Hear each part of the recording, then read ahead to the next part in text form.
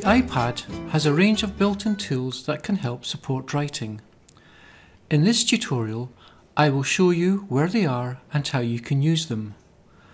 This tutorial can also be used on an iPhone, but the smaller screen may make it more difficult to see. There are four ways that you can use an iPad to support writing. The first is to use typing feedback. The second way is to use Siri, or by talking or dictating to the iPad, and your dictated words are converted to text. This is known as speech recognition. The third way is to use predictive or word prediction when you press the letters on a keyboard to type a word and the iPad guesses or chooses the correct word. And the fourth way is to use check spelling, which is the iPad's built-in spell checker. So the first thing we need to do is to turn on typing feedback. And to turn on typing feedback, we need to find the settings icon. So I've got it here in my dock, and if you can't see it there, what we can also do is a spotlight search for it. So just by sliding my finger on the, ice, on the iPad, um, it brings up what's called Spotlight Search. And you can see that I've already been doing a search for it before. So if I type in settings, and then it appears there. So that's Spotlight Search by sliding your finger down onto the iPad. So let's open up settings. And what I want to do is in settings, we want to go to accessibility. So there's accessibility. I click on or tap onto accessibility. And then from there, want to move down to we find spoken content. So click on spoken content. And uh, if you've seen the uh, using the iPad to support reading, you'll be familiar with these. So we want, now need to go down to typing feedback. So let's type typing feedback, and we have some options in here. So we can either have it so it speaks characters. So if we click on, it will speak each individual character. If we click on character hints, it will read the letters phonetically. So, for example, B, if you type in B, it will read out Bravo. If you type out A, it will read out Alpha, so A Alpha. So you really need to explore and experiment with these to see which ones you think will be most worthwhile. But just for demonstration purposes, what I'd like to do is just turn on speak words and then we can, uh, we can come back to some of these other things later. Okay, so speak words is what we want to do. And now what I'm going to do is demonstrate how they will work in different kinds of apps. So the first one I'm going to look at is down here is in notes and uh, we're just going to type something about the Romans. So we can say uh, the, so let's type in the, the, the, and you can hear it's reading it back. Romans.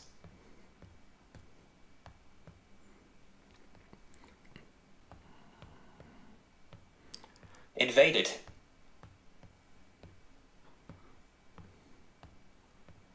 Scotland. Scotland. Okay. Um, so the other thing, of course, we can do, but as we've done before, if we just move our fingers from the from the top. Romans invaded Scotland. Okay, we can then have that proofread as well. So that's what we're using typing feedback. So that's using it in notes, and it works much the same if I was to bring up so if I go down here and I bring up Microsoft Word, let's do the same sentence in there. So let's type in the. The. Romans. Invaded.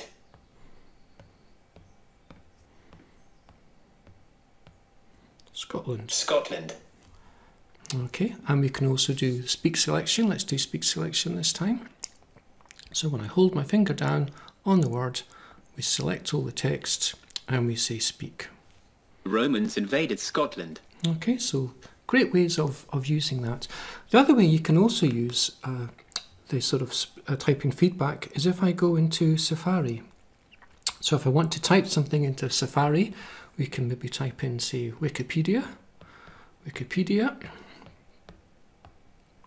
and do a search for that. Wikipedia. Okay, so you've got extra support in there. So really, wherever there's an option to add text, uh, typing feedback we'll, we'll read it back. Now, what I want to do is to go back and turn off typing feedback. Otherwise, it will be sort of speaking aloud all the time. So let's just go back and we'll, we'll turn that off. So I'm just going to go back to my home button, into settings again, down into accessibility, into spoken content, type in feedback, and then turn it off. Siri can best be explained as a digital assistant on your iPad or iPhone. For example, by pressing the home button on your iPad or your iPhone, you can ask Siri questions about the weather, direction to places, and much more. But Siri can also be used to support writing by dictating your thoughts and ideas into a word processor, such as Notes or Microsoft Word. Siri converts spoken words into text. Although Siri is very accurate, it is still important to proofread the dictated text just to make sure. One thing to remember is that Siri requires either Wi Fi or 4G to work. To turn on Siri, go to Settings, then to General, then to Keyboard, and we want to scroll down to the bottom till we see enable dictation. Okay, so let's just turn that on and we want to say yes to enable dictation. Just tap that with my finger and enable dictations on. So what I'm now going to do is I'm going to open up Microsoft Word, the Word app, and just let it open the document. Okay, there we have. Okay, so I'm going to type in some text just by using my voice. And to do that, I first of all have to just press the microphone icon just down here. Okay, so I'm going to click onto the microphone icon. The Romans in Scotland. Full stop, new line. In Roman times, comma, there was no such country as Scotland, full stop. The area of Britain now known as Scotland was called Caledonia, comma, and the people were known as the Caledonians, full stop. So now what I want to do is just to proofread the text that I've dictated just to make sure it's accurate. So to do that, I you can see I'm in, I go from home to review, and review I have the speak aloud button which we looked at earlier, so let's just tap The Romans that. in Scotland. In Roman times, there was no such country of Scotland. The area of Britain nine order as Scotland was called Caledonia, and the people were known as the Caledonians. Okay, so you can see there are some mistakes in there. So what we can now do in is we can actually just go in and edit that to correct it. And that's just by tapping on and then we could then find the mistakes and make those changes. So it's just important to know, although Siri is very good and very accurate, it can make mistakes. Now, as well as typing or dictating your voice into Siri, you can also ask it questions, as I mentioned earlier. So let's try a couple of examples. So I'm going to press the home button for a couple of seconds. Spell accommodation. Accommodation. A. C. C. O. M. M. O. D. A. T. I. O. N. Define accommodation.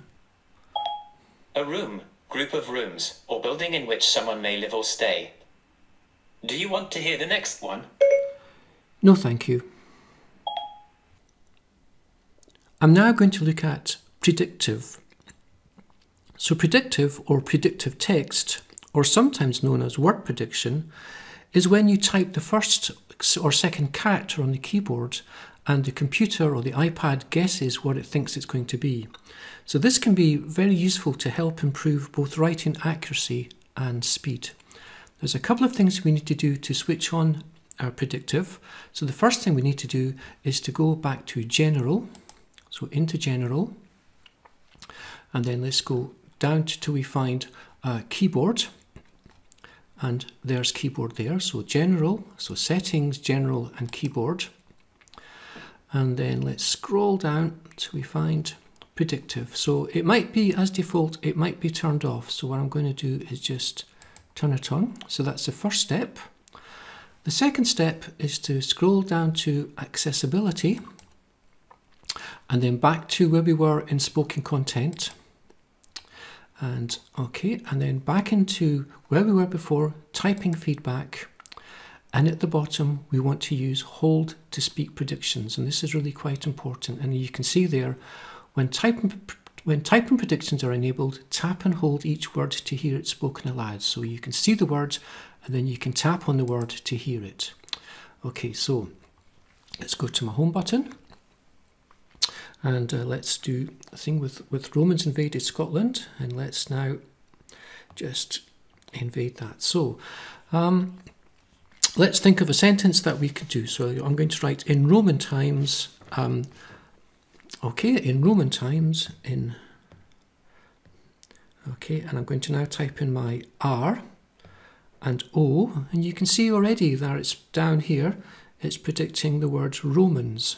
Okay, so we could just use that, but it wouldn't be uh, grammatically right, so let's just, let's go on a bit. So now we can see in Roman. Okay, now, remember we, we enabled, so we can... Roman. Okay, so now we can have that read aloud. Just by tapping it, we can we can do, and we can go Romans. through each of them. Rom. Romans. Okay. Roman. And uh, it's speaking because I'm just holding my finger down. Rom. Romans. Roman. And when I find the right one, I just release my finger and it puts it in. Okay, so in Roman times, so again, here's time there. It's maybe we might have to go a little bit further just to get that. Times, and there's times there. Timeline. Times. Times, which, and there, While. Which. okay, and let that go, which I'm going to see was a long time ago. was a long and now I'm hardly using the keyboard you can see, because you can see that predictive is predicting these word, words for me okay? In context. So there's time ago and let's put that down. And then of course let's just do the speak screen as we did before. So tap on and select. Let's go down to where it is and uh, so hold it down and select and just have that sentence read back to us. If I can get that, that's better. Okay, and then speak. in Roman times, which was a long time ago. Okay, so we can do that in notes, but we can also do similar thing in Word. So again, we've got the word prediction there, and we can do exactly the same as we. So it works across lots of um, applications as well. Another thing I'd like to talk about when using when typing is maybe using uh, what's called a Bluetooth keyboards. So just now, what I've been doing is I've been using the on-screen keyboard. Now that could take you know quite a long time to type. So for some uh, learners, it might be easier if they use an actual physical keyboard.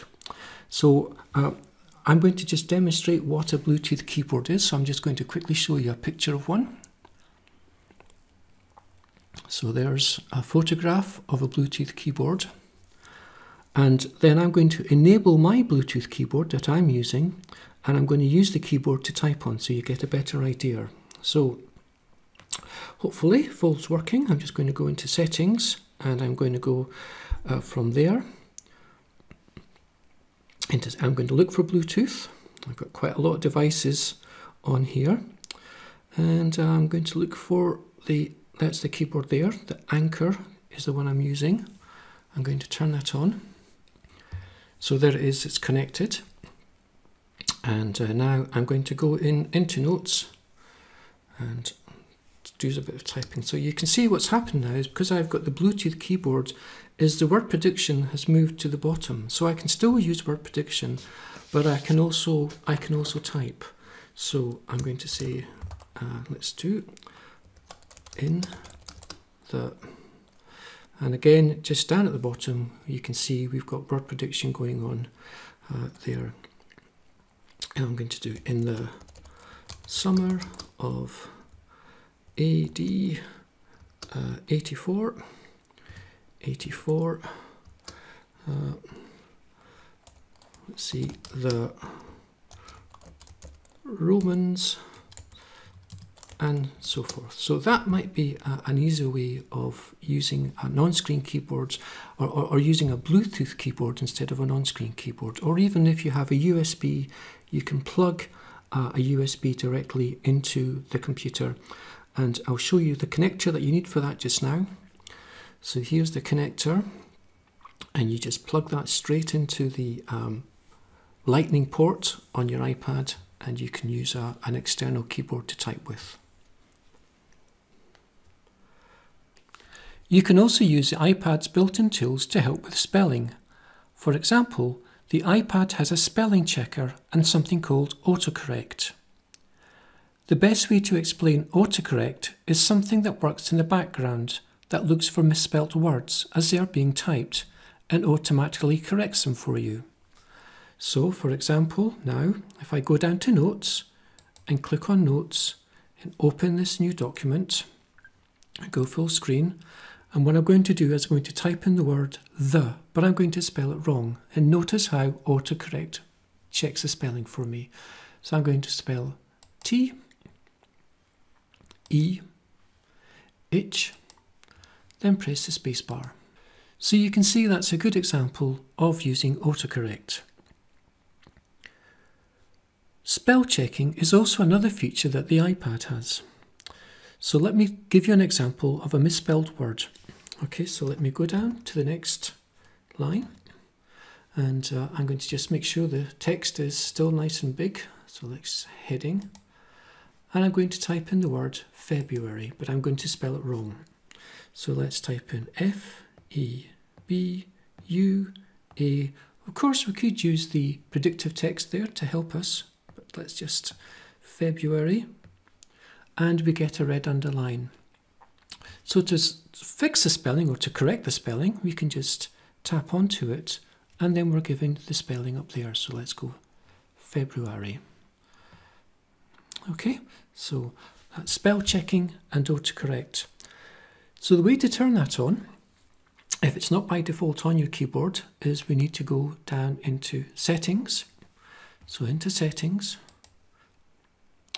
And then let's just go back a level because we want to go back to there. We want to go to general, then to keyboard. Uh, and then you can see we've got auto correction. So auto correction to auto correct the words and then just down. What I'm looking for now is check spelling and we can then turn that off and turn it back on again. I hope you found this tutorial helpful. Please experiment with the different tools. You won't damage the iPad and you can easily just go back to turn everything on and off. Thank you.